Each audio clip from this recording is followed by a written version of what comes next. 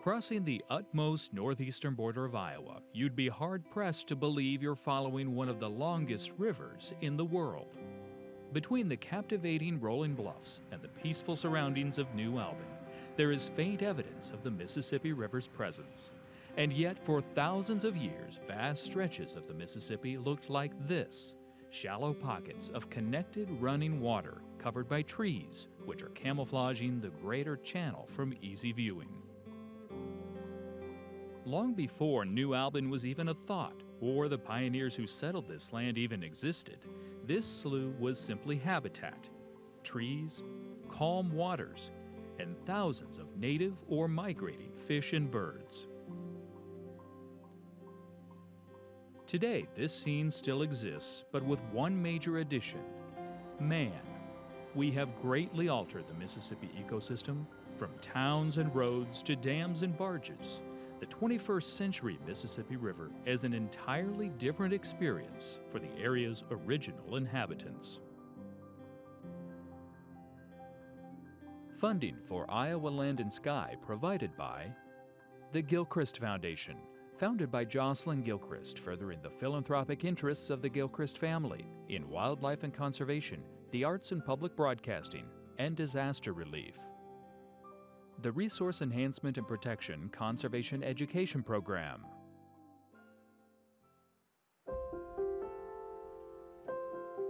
Just south of New Albin is the eye catching town of Lansing and its Black Hawk Bridge.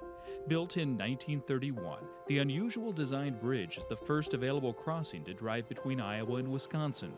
And at sunrise, it is a magical sight to behold. As the sun climbs into the sky, Lansing comes alive. With its hills illuminated and its channel bustling with barge traffic, Lansing is clearly an eye catching town. However, these bluffs are more than just a picturesque home to our northeastern neighbors. No, the cliffs and mounds of Lansing and Allamakee County provide the perfect habitat for one of Iowa's most wondrous residents, the peregrine falcon. Oh wow, that's great. That's a great shot, yeah. A big part of the comeback of the peregrine falcon to these river bluffs is the release that Bob Anderson and the Raptor Resource Project did 20 years ago. And of all places they picked was Effigy Mounds National Monument, where there's peregrine falcon effigies there and walking bears, just the, the you know, historic significance of that. And that's an interesting story in itself because when peregrine falcons were raised and released initially, they're released from the tops of buildings and grain buildings and power plants and things like that. It's kind of a stepping stone to get them out back here in their, their, their eyries on the river. Well, they didn't do that. This historic release back in 1998 and 99 was to release them from rock lined hack boxes at Hanging Rock there in Effigy Mounds National Monument. And they fledged from that, and I think it was a year, two years after that, they started showing up in the historic eyries. When, when the release happened at Effigy Mounds, 98, 99, there were no falcons on the cliffs. And, and so it's a brand new population. So we start banding that new population, and now it's been 20 years, so it's a matter of consistency, especially as the population continues to grow. Of course, in order to monitor the falcons, they first must be reached. Not for the faint of heart, the best way to reach the cliff hanging falcon nest is rappelling from above. An arduous task, but a safe one that members of the Raptor Resource Project are trained to undertake and look forward to year round. We're at Lansing on Guider's Bluff today, and there's a nest box on it, so that's easy to find. Uh, you can see that just as you lean out over the lid. Sometimes you can't see uh, the hole from the top, so we have to go down a ways. Today we had four, uh, and I couldn't even tell there was four until I got into them. They're under 10 days, you know, maybe nine days of age. We want them at least 13 and preferably closer to 20, and that's because the bands have to fit their legs, and their legs aren't fully grown yet to put the bands on. So this is a very productive site. At the same time as the Effigy Mounds release of 1998, peregrine falcons were taken off the federal endangered species list. While in the early 70s falcons were near extinction, today they are considered to have a stable population. Still, the animal's fragility helps researchers understand the ecosystem as a whole. While they recovered from extinction, there's still sort of an important sign of what's going on with the ecosystem. We're also collecting longevity data on them and we're learning more about them still, even now. How do they act? What do they eat? What do we see? How are they responding to springs getting earlier or springs getting wetter? Peregrine is the Latin word for, for wanderer, and that's what they do. They cover a lot of territory, and it's one way to see how they disperse once they do leave uh, the nest site. Today, peregrine falcons are a staple of the upper Mississippi region, where Lansing and surrounding communities celebrate the bird, with annual banding events being a point of pride.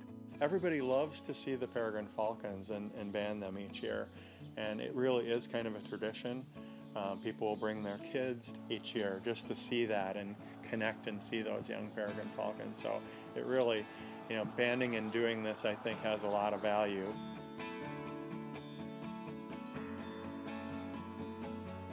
Lansing is only one of dozens of towns whose topography and climate provide the perfect habitat for birds of prey such as the peregrine falcon or American bald eagle.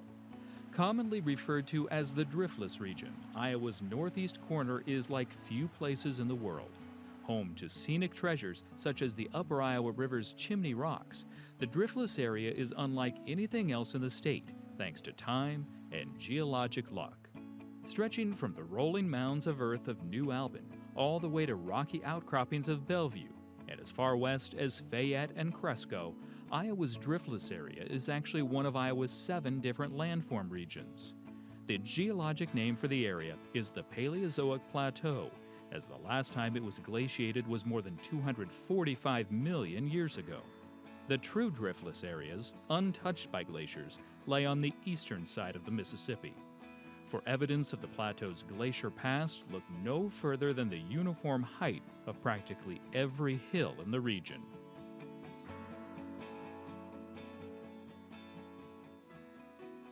Encapsulated by driftless mounds, the Yellow River State Forest is a haven of fishing, camping, and backcountry backpacking.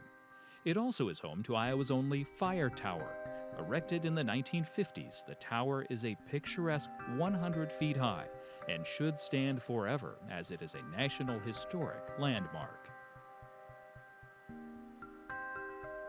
Hard to miss, one of the most abundant features of the Paleozoic Plateau are rock outcroppings. Besides drawing in the eye, many of these outcroppings are home to a geologic phenomenon truly found nowhere else in the world.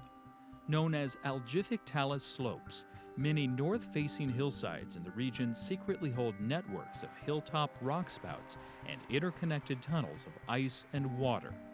While not necessarily easy to find, the U.S. Fish and Wildlife Service has mapped virtually all of them and protects them against development. Right now, we're kind of standing on a um, algific talus slope now, and it's, it's, this was kind of not as impressive as, as the one we're going to go to, but it's uh, it's basically you can tell it's more it's the rock, the talus type rock, the slope and everything, and so there's actually here's here's a crevice right here behind us.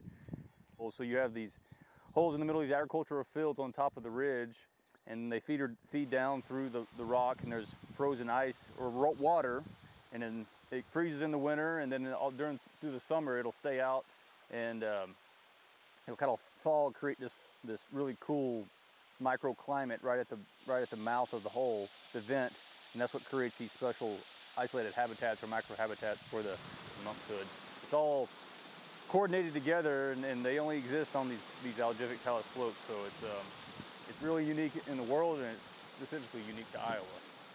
These enigmatic systems produce cold air and water year round at their lower vents, hence algific, meaning cold producing, and talus slope, which refers to stacked broken rocks on a ridge. A handful of Iowa locations, including Bixby State Preserve in Edgewood and Ice Cave Hills Park in Decorah, have visible examples of this phenomenon. However, it is very likely nearly any north facing slope in the driftless area is home to a subterranean network of ice caves. The Mississippi represents one of the most diverse ecosystems in the state of Iowa, from New Albin south to Keokuk, much of the river is cared for by the U.S. Fish and Wildlife Service. Spanning more than 150 miles, the Upper Mississippi River National Wildlife and Fish Refuge is one of the most scenic corridors along the Great River Road. Working with supporting organizations such as the Iowa Department of Natural Resources and the Army Corps of Engineers, the U.S. Fish and Wildlife Service maintains and restores the river's vital habitats, benefiting both man and animal.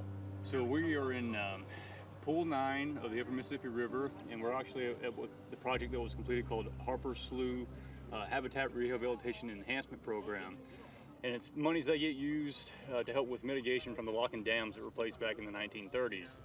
And so this project was started uh, about five years ago, and it was completed construction-wise uh, last year. And today we're out here kind of tidying up things and doing some tree plantings to help make sure that the islands can hold. It gives some links to hold the soil together and uh, the trees a jump start. It creates phenomenal wildlife habitat. I mean, the waterfowl response this past fall and even this spring creates a lot of good subaquatic uh, habitat and also does uh, helps with water uh, quality and clarity, which promotes the subaquatic vegetation. Restoration efforts like the Pool 9 project north of Harper's Ferry occur up and down the Mississippi. Modern conveniences such as dams and bridges, teamed with construction and large scale agricultural production, have altered the Mississippi ecosystem. From this, the river sees large pools form near the dams, a decrease in bird migration, natural vegetation decreases, and flooding increases due to shallow root systems upstream. So, in order for the river to thrive, massive multi million dollar endeavors are undertaken. You know, people think of rivers as water, which is what they are. And it's, it's easy to think about the fish in the river, but not to think about what are the drivers of those fish habitats and that, and that uh, ecosystem that's there. Historically, there was a lot more forest on the Mississippi River, and, and what it contributes to the overall ecosystem health are things like slowing water when, when the river is flooding, and so that helps to capture sediment and helps to clarify the water. It provides dead wood that actually moves into the river, and, and dead wood is a really important component of, of fish habitat. Uh, it helps prevent erosion. Um, so yeah, there are, there are a wide range of, of ecological values that these trees play, and, and it's really important for the ecosystem as a whole. One major benefit with restoration projects is the ability to improve on nature's design. For instance, the indigenous silver maples that are starting to die off have a lifespan of 80 to 100 years. The replacement trees should live more than twice as long, as well as provide ample sustenance to migrating birds. These swamp white oaks that we're planting here have a lifespan of 250, 200 to 250 years potentially. And the, the swamp white oak that we're planting produces acorns that a lot of wildlife depend on. It also is really interesting because there are certain bird species, the cerulean warbler, which is a, a species of concern for, for throughout the eastern United States, um, seems to cue in on oak trees specifically. And so where we have more oak, then we tend to have more of those more of those warblers. And there was actually just recently a study done that showed that hackberry as well is preferentially used by birds migrating up the Mississippi River floodplain. And so, you know, the, the goal is not to create something that's just going to wash wash away down the river. The goal is to create a system that's going to be sustaining and going to be able to keep itself going. And so with the trees, um, certainly the goal is not just that these trees are going to survive, but that they're going to grow up into mature canopy trees, start producing seed, regenerating on their own, and that this island will hold and maybe even build itself over, over time. With ongoing efforts such as the Upper Mississippi River Restoration Program making sure the health of the Mississippi is looked after, an ample supply of area residents willing to volunteer their muscle and time, it appears the Mississippi habitat should be around for future generations to revere. You know, the Endangered Species Act was created because, you know, we recognized back in the 70s that, you know, we were doing a lot of changes on the landscape that were causing certain things that people enjoyed and liked to, to decline and, and basically go extinct. And so um, these projects help you know, either prolong those species from doing that or prevent it to some standard. And, you know, I just think as a, you know, Aldo Leopold once said, being stewards of the land is what we all should be part of.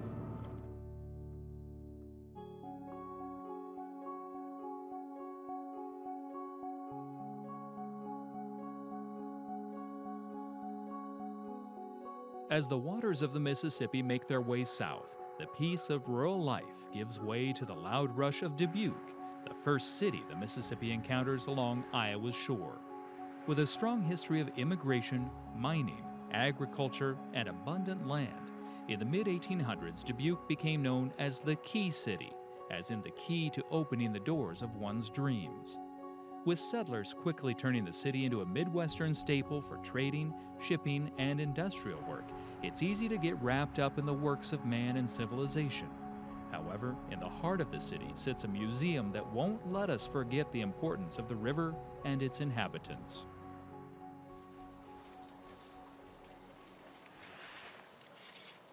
So we're here at the Dubuque Ice Harbor with the Mississippi River Museum, and uh, we're harvesting our cages of infested fish to bring in the mussels that dropped off of them. So these mussels will be used for recovery of rivers as far north as the Chippewa River in Wisconsin, and then as far south as uh, around Guttenberg in Iowa.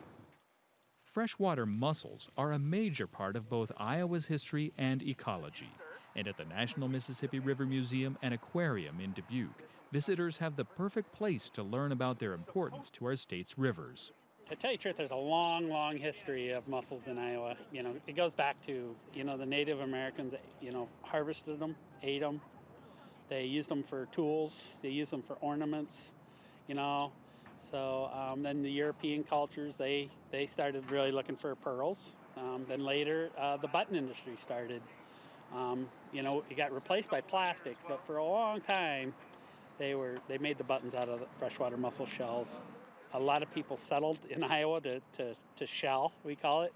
And, you know, we think possibly they went to a lot of our inland rivers first because the Mississippi was so daunting. A smaller river, they could shell, they could find them pretty easily there.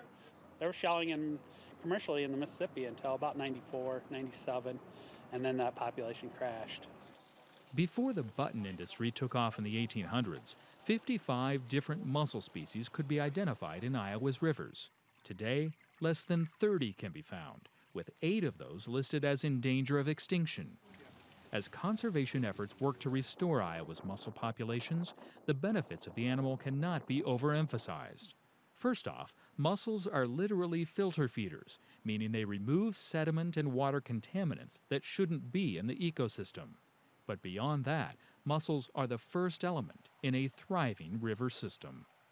These are keystone species. Some people refer to these as the coral reef of freshwater systems. They literally create a habitat with their body.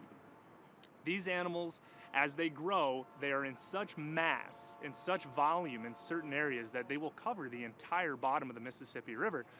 And they're going to create a physical structure for algae to grow on, algae which then attracts insects, insects, insects that attract fish. Some fish even breed on these mussel beds. So as a keystone species, if it was not for this particular animal, that habitat would not exist.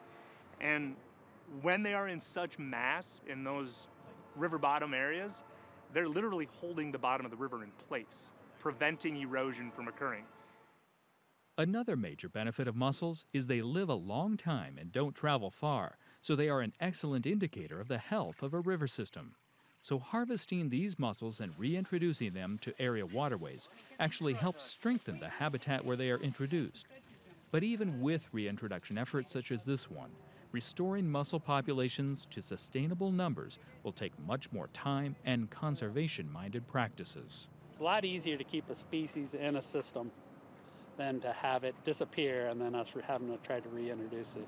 If we can keep it in, we can learn these culture techniques, we can use these, these animals in specific projects. But to tell you the truth, I don't know what all the, all the things that mussels do for us. But I can tell you, we'll never know if we lose them. As industries such as button making have come and gone along the Mississippi, the river itself hasn't gone anywhere. Life on the eastern banks of Iowa can depend on no matter the change, the river will sustain. Barges will continue to push their way down the banks. Riverboats and fishermen will always enjoy what the water has to offer, and flooding will test the resolve of each community built on the mighty Mississippi. One area where habitat and humanity are working together is Muscatine. Formerly known as the pearl capital of the world, it too has evolved with modern times. Home to one of Iowa's most unique habitats, Muscatine's Big Sand Mound Nature Preserve is a great example of modern life learning about natural Iowa from one of its best preserved treasures. Believe it or not, amidst the rush of the Mississippi sits a desert. Big Sand Mound is home to a rare variety of flowers, prairie grasses, and animals not found anywhere else. The delicate ecosystem is only open to the public once every three years. During this short window, nature lovers and educators take part in guided field days where tens of thousands of visitors have learned what makes this arid patch of Iowa unique. The mound was built by about 20,000 years ago uh, due to outwash coming from ice sheets to the north and depositing their sand and gravel and silt loads as they went. Uh, after that time period, when the ice age ended, there was lots of water from melting surging down the Mississippi River Valley, and it removed a lot of that sediment. And so by about 17,000 years ago, the Big Sand Mound was in place as a unique structure. Um, there were other sand mounds in the area, and there still are other sand fields, but this is one of the biggest single mounds, I believe, uh, remaining. Really unique to the Midwest, especially to Iowa. This one is very much more like what you would find in the Southwest than you would find in Iowa. You can't create these, so I've done much research on reconstructed, restored, and native uh, prairies and wetlands the reconstructed and restored ones can have at least some similarity to the real ones in nature. They're not the same. Um, we can't make a fully functioning wetland uh, the same as we have in nature, or from my, from my viewpoint, same thing with prairies.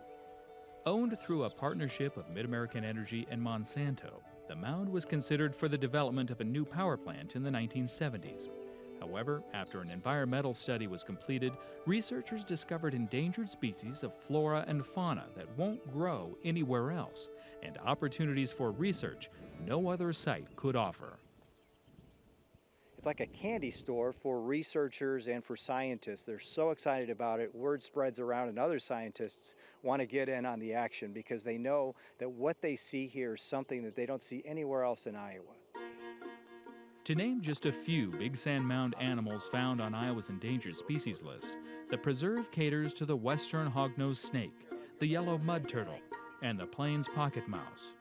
The low moisture and nutrient content of the soil mixed with the hot summers and frigid winters means the area is also home to a list of plants that would never set roots in Iowa without this special ecosystem. We continuously find things here that we didn't know were here or that are only found here or only a large population is found here. It's really enjoyable to just discover things and to see things that you don't normally see. Even with the nature preserve saved from development, the factors of climate change have caused population decline of big sand mounds, endangered species, and native flora. So, in order for the mound to remain special, it will take the efforts of research to keep the mound vibrant for future generations to enjoy. We won't be able to sustain this with our generation. We need the next generation to, to also hold that of high value and to think about how they get involved and how they sustain this. So really, really cool and really exciting to be part of those educational trips. As the Mississippi winds its way toward the southern border of Iowa, Burlington has twisted its way into the record books. Perched on one of the northern hills of downtown, Snake Alley twists and turns 275 feet to the bottom of a hill and into the record books as the crookedest street in the world. Burlington may be Iowa's original capital city, the origin of the term Hawkeye, the birthplace of renowned ecologist and environmentalist Aldo Leopold and home to the popular natural attraction Star Cave nestled into the bluffs along Flint Creek. But Snake Alley's curving cobblestone path has stood as an alluring oddity since 1894, drawing visitors from across the globe to the river town for a quick drive down a zigzagging street. Finally, as Iowa's southern border approaches, the Mississippi River rushes its way past Keokuk at the southern corner of the state, this is the last chance to appreciate the majesty of the Mississippi, and from the heart of downtown Victory Park offers the perfect chance to reflect on everything the river offers. Before the waters bid farewell to Iowa, they've passed by bluff formations like nowhere else in the world. They've provided habitat for countless animal species on land and in the water. They've helped establish cities that made pioneer life possible and helped fuel Midwestern expansion. And over millions of years, they've helped carve absolutely beautiful sights for everyone to enjoy. With the confluence of the Mississippi and the Des Moines rivers, the strong current pushes past Iowa, but not before creating one of the largest watersheds on the planet.